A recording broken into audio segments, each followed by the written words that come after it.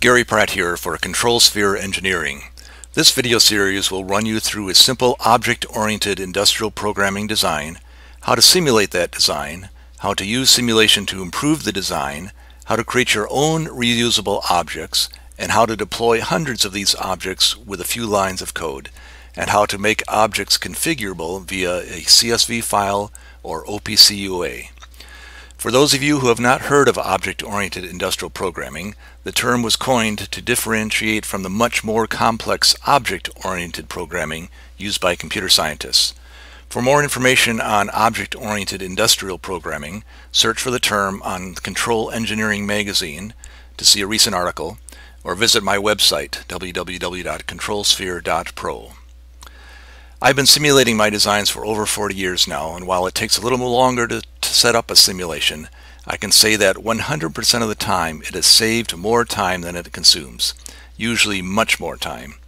I've applied this to control systems I've designed as well as printed circuit board designs and FPGA designs. The ability to perfect the design in parallel to the plant or equipment being built and the insight provided by the simulation which would be difficult or impossible to measure on the target device, makes simulation invaluable. For this demo, we will create a simple tank level controller which will control the speed of the tank outlet pump to keep the liquid in the tank at a constant level, regardless of the flow rate entering the tank. The tank has an analog level sensor and a variable frequency drive motor controller for the output pump. To begin, we'll, we'll create a new program for our tank system and call it plant. We will create this in continuous function chart as that is the best language to instantiate other objects.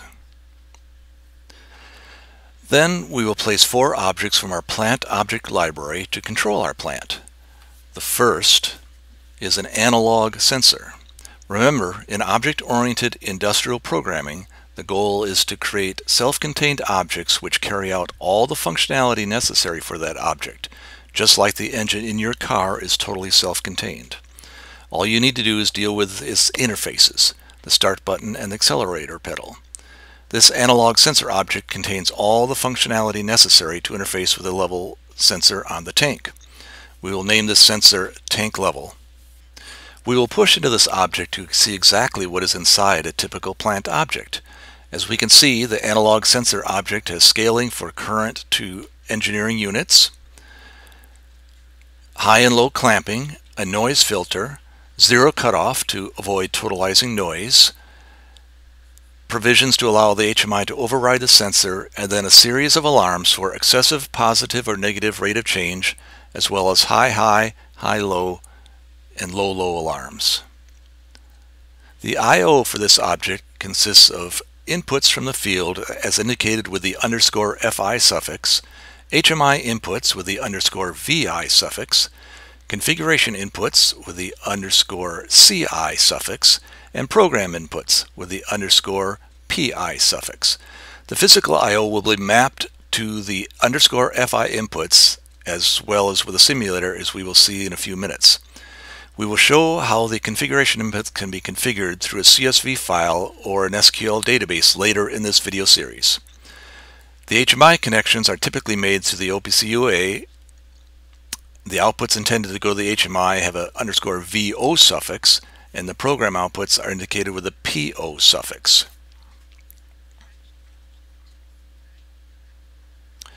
Returning to our plant design, we will instantiate a subtraction function to subtract the actual level from the setpoint level.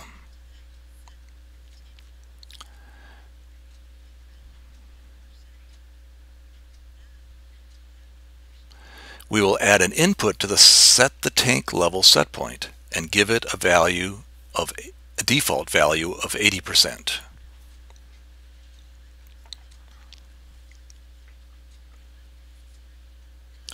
Now that the, we've made the connections, we can now remove the unused pins from our analog sensor to eliminate the unnecessary clutter.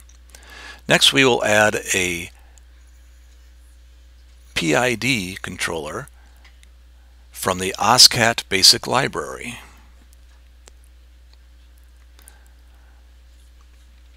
We will call it PID. Usually the control is more complex and we would create a separate function block for it, but in, case the, in this case the control is simple.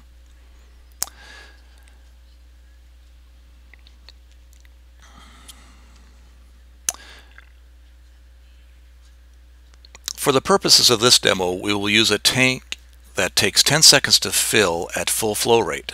Since the tank is a pure integrator, it represents a pole at 0 Hz and will have a gain of 1 over 2 pi f. For 1 Hz control loop, we will want a proportional gain to be the inverse of the tank. That would be 10 times 2 pi times 1 Hz. For now, we'll leave the integral and the derivative disabled.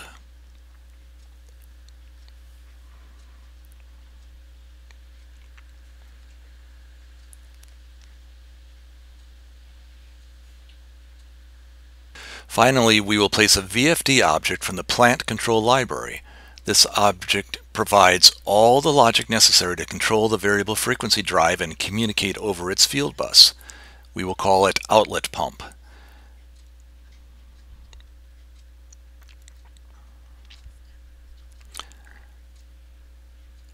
Our design is now complete. That is how easy it is to build a control system using object-oriented industrial programming. Next step is to build a simulator to simulate the plant. We will call this plant underscore sim and also build it in CFC. The simulator will mostly mirror the plant, beginning with the VFD simulator, which we will call outlet pump.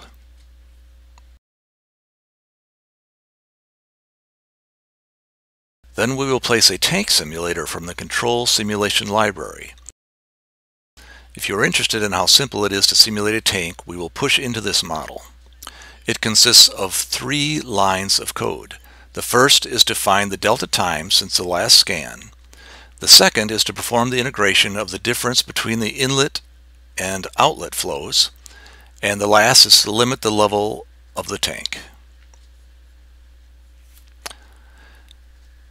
And lastly, we place an analog sensor simulator.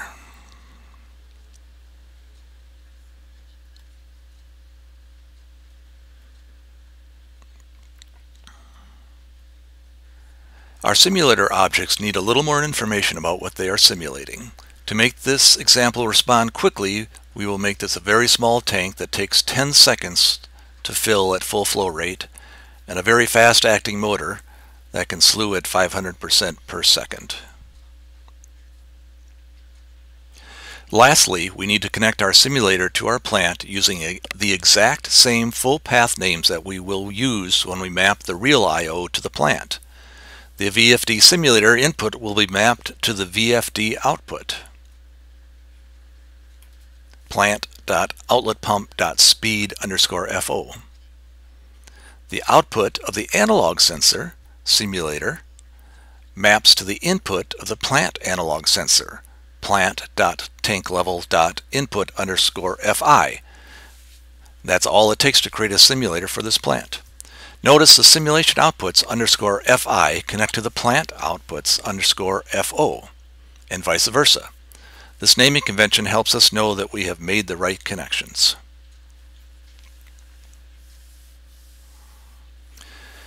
The next step is to create a test bench. The test bench provides inputs to the system and records the outputs of the system. We will create we could create HMI, HMI screens if this were an operator-driven system, but for this demo, we will create a program to generate the test stimulus. Since this will be a test sequence, we will build the test bench from a sequential function chart.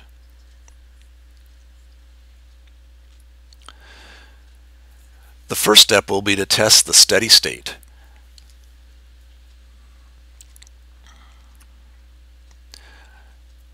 We will run this test for 20 seconds. On the steady state, we will create an entry action to set the system inputs we will set the tank level set point to 80%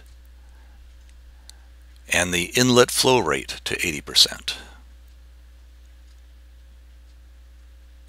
Next we'll add a dynamic step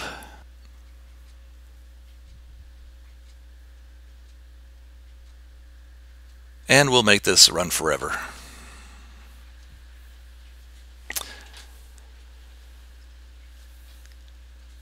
For the dynamic, we'll add an active action and then have the tank level flow vary by a 0.2 Hertz sinusoidal rate.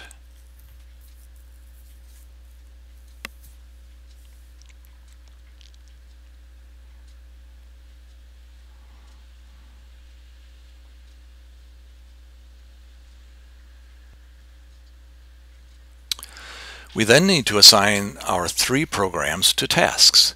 The plant goes to the default task, which is created for us when we open a new project. It has a default cycle time of 20 milliseconds. We assign the program to the task by dragging and dropping. The simulation task must run much faster since it is simulating the real world that runs in real time. I also like to make the simulation task run at a non-integer multiple of time to avoid any synchronization, which could mask potential problems. To do this, we create a new task called sim and assign it a 3 millisecond cycle time. And then we drag and drop the simulator and the test bench.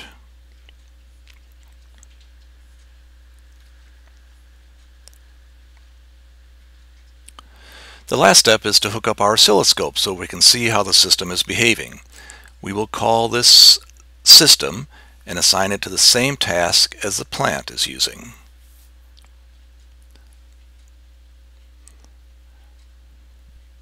We will then view the tank level set point and the actual tank level in one y-axis.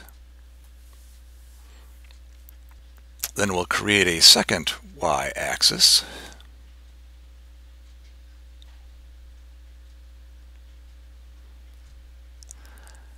and view the inlet and outlet flow rates.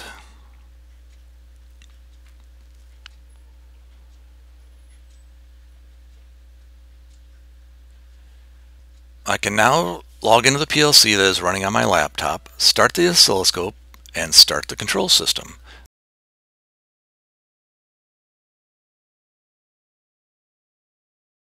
The inlet flow rate goes to 80% and the tank begins to fill. When it reaches 80% set point, the outlet pump begins to run to keep the tank level steady. Although you will notice that there's a significant amount of st steady state error in this control system with a tank level at over 81%. When the system enters a dynamic range, you will notice the speed of the outlet pump is varying to keep the tank level, but again there is significant error.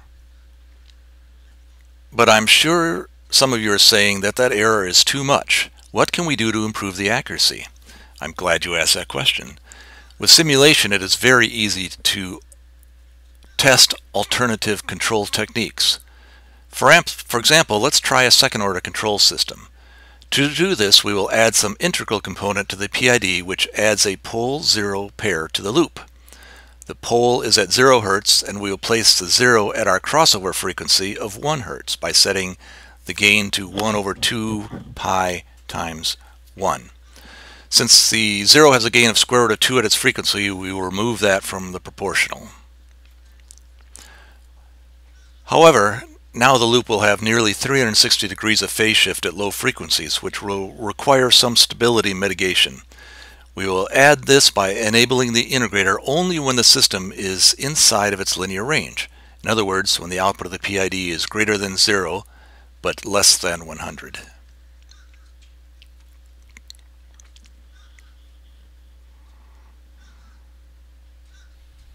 We will now log in again, start the trace, and start the simulation.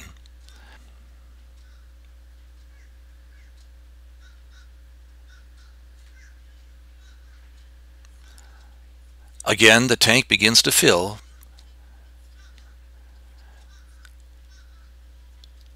but due to the instability, it now overshoots the set point and then rings a bit before settling out at a much better steady state accuracy. And a much better dynamic accuracy.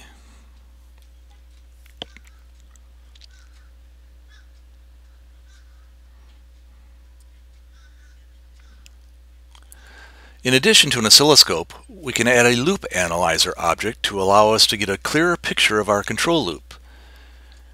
To do this, we'll break the control loop at the output of the PID and add a Bode loop analyzer object. We connect the output of the PID to the stimulus in and the stimulus out back to the VFD. We also connect the output of the PID to the measure from and the stimulus out to the measure to to give us a picture of the entire control loop.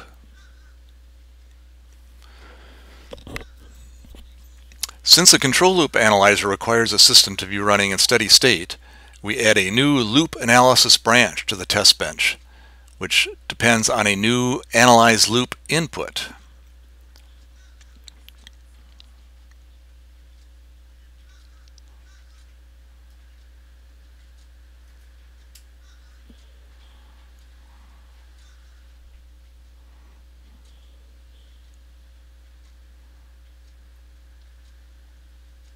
We'll give this an entry action which will set the steady state conditions and turn on the analyzer.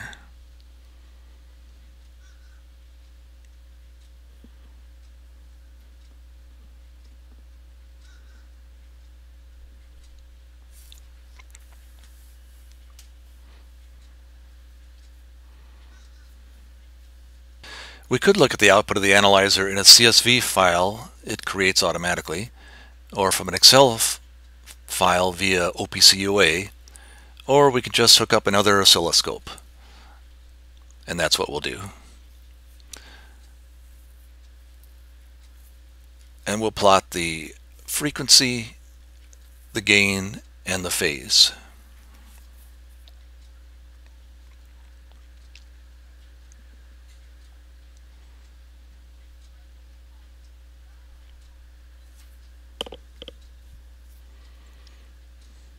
Bode analyzer steps through the specified frequencies and measures the gain and phase around the loop at each frequency. This takes a few minutes, so instead we'll call up the results from a previous simulation. The top trace is the frequency, while the middle is the gain and the bottom is the phase. Notice the phase margin is nearly zero at the low frequencies. This is a reason for the instability but the phase margin reaches 41 degrees at the 1 Hz crossover frequency, indicating that the loop will be stable and have an underdamped transient response. This concludes the first part of this demo showing how simple it is to create and simulate a control system using object-oriented industrial programming. Additional videos will show how to convert this tank controller to a reusable object and create a tank of farm of 100 tanks. An additional video will show how to configure all 100 tanks with a central configuration database. Gary Pratt here with ControlSphere Engineering. Hopefully you have seen part one of this three-part video series and you are saying to yourself, those reusable plant objects are fantastic. How do I make one for myself? Well, I'm glad you asked. The next part of this video will answer that question. In the previous video, we created, tested, and perfected a tank-level controller system. Now let's say we have a pharmaceutical plant with 100 continuous reactors. Let's see how we can convert the tank controller we have, have into a reusable reactor object and deploy 100 instances of that object. We start out by cleaning up our workspace and then renaming our plant to reactor and changing it from a program to a function block. That's all it takes to change a program to a reusable object. We do the same for plant sim, but we also need to add a pointer to a reactor, so each instance of plant sim knows what plant it's connected to. In IEC 61131-3, a var in out is a pointer under the covers. Then we need to change the hard-coded I.O. to associate them with a pointer which will be passed to the simulator when it is called. If you don't completely understand this, it will make more sense in a few minutes. We will call the pointer myReactor and swap that into the I.O. path names.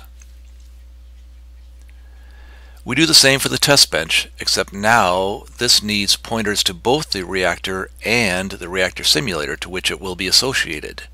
So we will add two pointers, myReactor and myReactor underscore sim. And while we are here, we will turn off the Bode analyzer.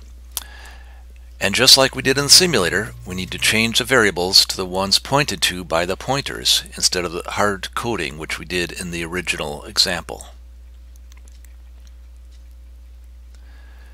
The next step is to create a new plant, plant sim, and test bench programs, which will instantiate and call 100 instances of their associated reactor, reactor sim, and reactor TB objects. To use the most effective use of time, we will implement the instances in an array.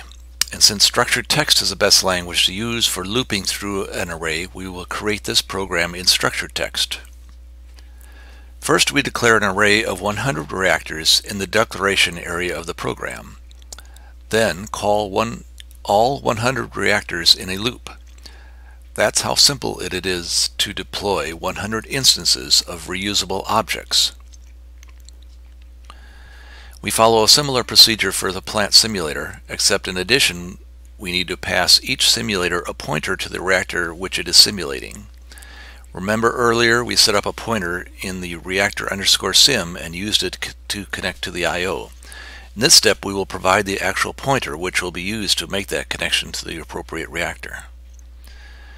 We do this by adding reactor as an argument into the call to the simulator. Under the covers, the compiler passes a pointer to each of the 100 reactors to each of the 100 plant simulators. The simulator then uses a pointer to access the input and output variables of that reactor. We do the same for the test bench, except now we pass it a pointer to both its associated reactor and its associated reactor simulator.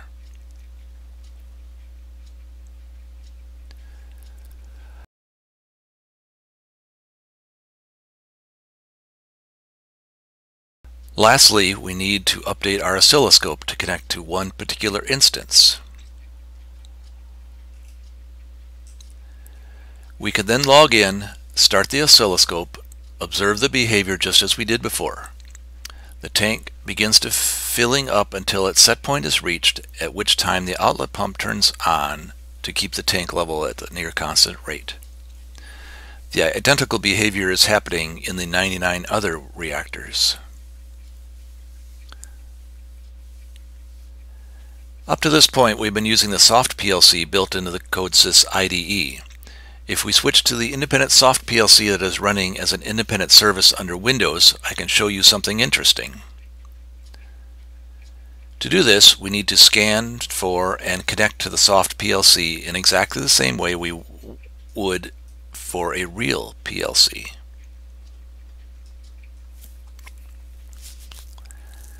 The independent soft PLC is exactly the same runtime which is on any PLC that supports CodeSys. Using this, we can see that the performance will be if we deploy this project to a PLC with similar CPU hardware. To do this, we open up the Task Manager and look at its Monitor tab to see the statistics for the cycle time of the project. Notice that even though we are running second order PIDs on 100 tanks, we are only using a couple hundred microseconds of CPU time. This really shows the power of compiled code under CodeSys with its custom compilers versus the interpreted code that many of its competitors use. Now you might be asking yourself how this would look if each reactor were in series, where the output of the one reactor feeds the input of the next. Interesting question.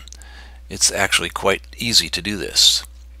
First, we're going to go back to the first order control loop to make the results more interesting. And then, so the system doesn't take 800 seconds for the liquid to reach the last reactor, that's 100 times 8 seconds to fill each reactor, we're going to modify the tank simulator so each tank starts out at 79% full. Then we will modify the plant simulator so that the first reactor simulator is called outside the loop, and the inlet flow of the simulator after that is connected to the outlet flow of the previous reactor simulator.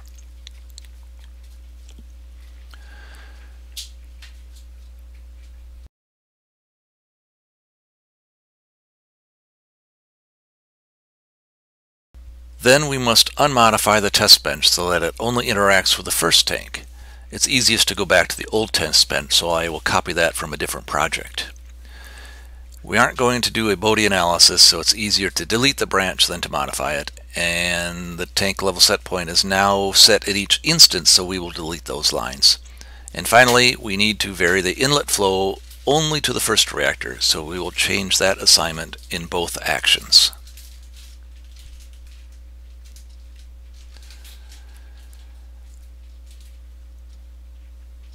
Now we change the oscilloscope so that it only looks at every 10th reactor, log in and run. We see the level of the tank the next tank begins to rise after the level of the previous tank has reached its set point. The tanks are all working in series.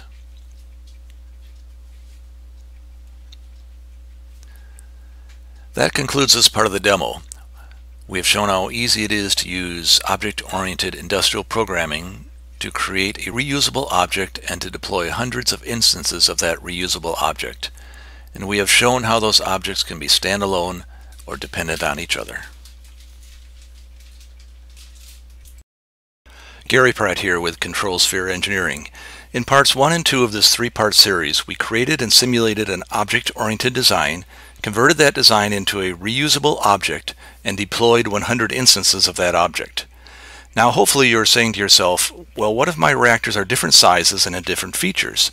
How do I differentiate each instance of a reusable object? Well I'm glad you asked that question.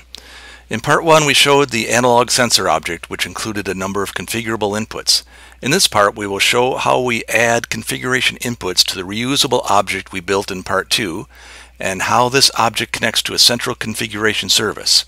It will also go through the features of this central service which include the ability to create an editable CSV file containing the default values for all the configuration inputs of all the configurable objects, the ability to read this modified file at startup to properly configure all the configurable objects, and the ability to save individual configuration changes to allow tuning parameters to be captured and stored on the fly.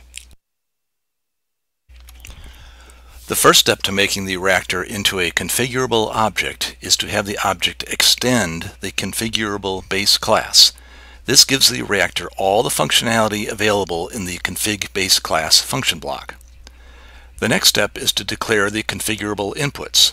For this simple demo, we will make the PID inputs configurable. But typically, you will want to make your objects as flexible as possible with more configuration inputs. Notice we are using the underscore CI naming convention to designate the configurable inputs.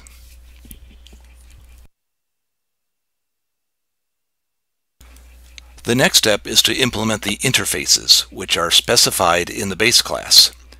CodeSys makes this easy with the right-click Implement Interfaces. We need to implement four interfaces. Accept config, which receives the values from the central configuration service and writes the underscore CI variables. Provide config, which provides a central tool with the current values of the underscore CI variables so it can write a configuration file with all the current values. Provide config titles, which provides the central tool with the names of the underscore CI variables to use as a header row in the CSV file. Set my type, which gives the function block name to the central service so it can group all the objects by type and insert a type header line. First, we delete the message that CodeSys adds to remind us to implement the interfaces. Unfortunately, CodeSys doesn't allow comments in the implementation of the interface specification, but it does allow comments above the method line. So we copy those comments from the declaration area into the implementation area, and we copy the assignment line example three times for our three PID configurable inputs. We repeat this process for the other two methods. Then we use Alt Drag to grab the three configuration parameter names and paste them in each method. We also update the array numbers as well as the number that is passed back to the central configuration tool to check that the number of parameters match. We repeat this process for each method. Unfortunately, CodeSys does not provide a way for a function block to determine its own name, so we need to do that manually by placing the function block name in the setMyType method. This will be used by the central configuration service to group the configuration inputs by type and to place a type line above each group.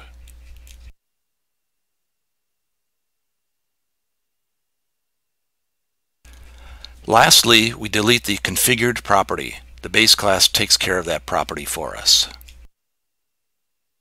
The next step is to create a task for the configurator central service and assign the configurator to it. And that's all it takes to make a configurable object.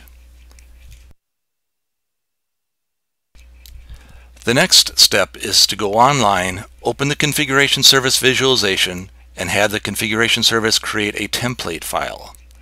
We do this by opening the configuration visualization and toggling the switch to write the configuration file. We can then examine and adjust the configuration parameters. The configurations for all the analog sensors are on the top. The first line shows us the names of the configuration parameters for the analog sensor. Each line after that contains the configuration values for each instance of the analog sensor. The next section contains a configuration for the 100 instances of the reactor object. The first column is reserved for the ISA name and the next three columns are the three parameters that we created. Having the tool create this file for us saves us an enormous amount of time and potential mistakes over creating this file from scratch. We can now update this file with our own custom parameters. For this example, we will change the kp underscore ci parameter in the first reactor to 63 and in the second reactor to 64. This file is automatically read when a program starts. We can also read it using the visualization. Notice how the value of kpci has changed to the new value entered in the CSV file. The configuration service can also save the configuration of individual instances. This is a great way to manage tuning parameters. Say we have tuned the PID and found 64 to be the best value for reactor 1, but we only want to save the value of that one instance, not all the instances. We can toggle the store config underscore vi input on that instance and it will have the configuration service write that individual value to a change file. We can then reread the config file, which will load the value we wrote into the CSV file, 63. We can then read the change file to read the individual value which we changed when we tuned the loop, 64. On startup, the config file is read first, followed by the change file. We can demonstrate this by performing a warm reset. Notice the value 64 is retained. This concludes part 3 of this video series. I hope I have shown how easy it is to create a configurable object and then to configure that object. The configuration service can be purchased from controlsphere.pro. Contact me for more information. I hope you found this video series interesting. If you'd like help getting started with object-oriented industrial programming, ControlSphere Engineering can help, also with CODESYS training and consulting. Feel free to contact me at gary at controlsphere.pro.